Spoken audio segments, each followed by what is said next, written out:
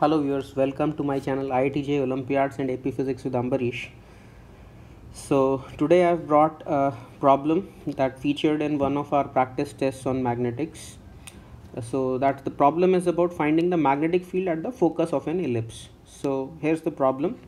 We have to find the magnetic field due to current I flowing in an elliptical loop at its focus. So th- this is an elliptical loop and the current is flowing like this and I have to find the field at this point okay and the equation of the ellipse in polar coordinates is as shown.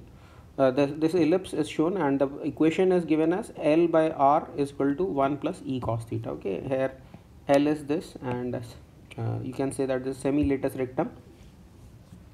And this is the equation of the ellipse. Here E is the eccentricity which is a constant. Take L is equal to 50 centimeter E is equal to 0.8 and I is equal to 2 amperes. And if your answer is n pi into 10 to the power minus 7 Tesla fill n in the OMR sheet okay?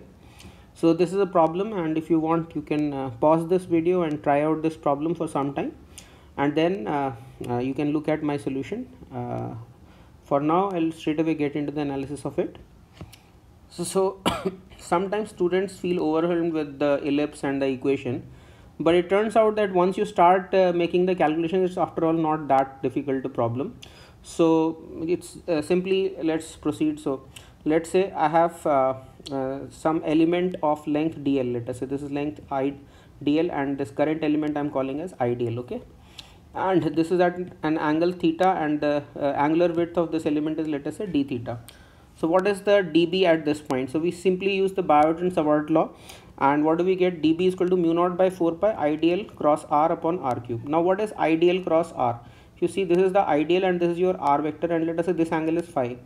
So if this angle is phi then the this angle is going to be 180 minus phi and you know that sine of 180 minus phi is same as sine phi. So so the, what does this simplify to? So this becomes mu naught i by 4 pi r cube and r and dl sine phi okay r cross uh, dl will be r into dl into sine phi okay and now what i have done i have uh, dropped a perpendicular from this point on the radius vector and then this becomes a right angle triangle and i know that this length which is also rd theta approximately this is rd theta. If this is r this is also approximately r. So this length can be thought of as rd theta. Uh, this highly exaggerated figure actually d theta is supposed to be uh, imagine it to be 10 to the power minus, uh, 100 or something like that okay? So very very small angle. So if this is r this is also approximately r and this becomes simply r d theta because it's perpendicular over here. So dl sine phi is r d theta okay so then uh, since dl sine phi is r d theta i can just straight away substitute that into this integral so I know r as a function of theta and I know then dl sine phi as of in terms of d theta.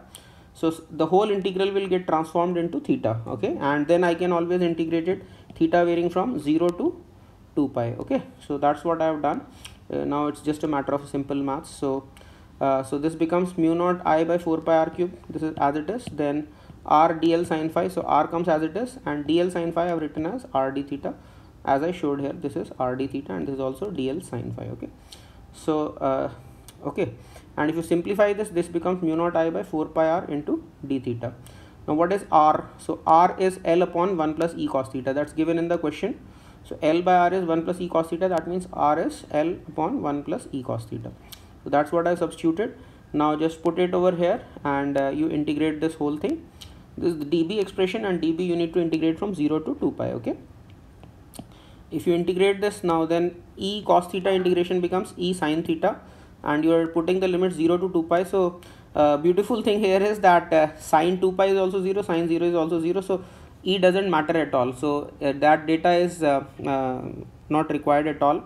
And I could have as well uh, asked you to compare the fields due, due to different ellipses with different eccentricities okay?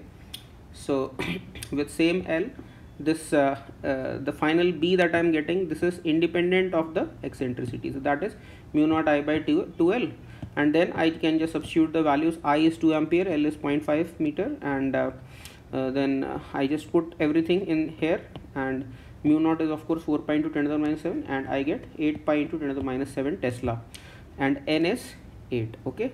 So i hope you uh, liked the solution of this problem and if you did uh, appreciate this problem please do give it a thumbs up and uh, please do share it with uh, your friends uh, or uh, you can say telegram groups or whatsapp groups that you might be part of any study groups that you might be part of please do share my video with them.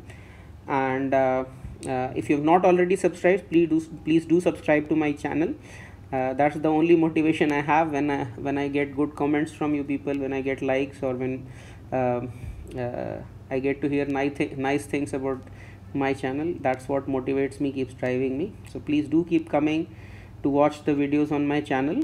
I hope uh, you liked it and uh, all the best to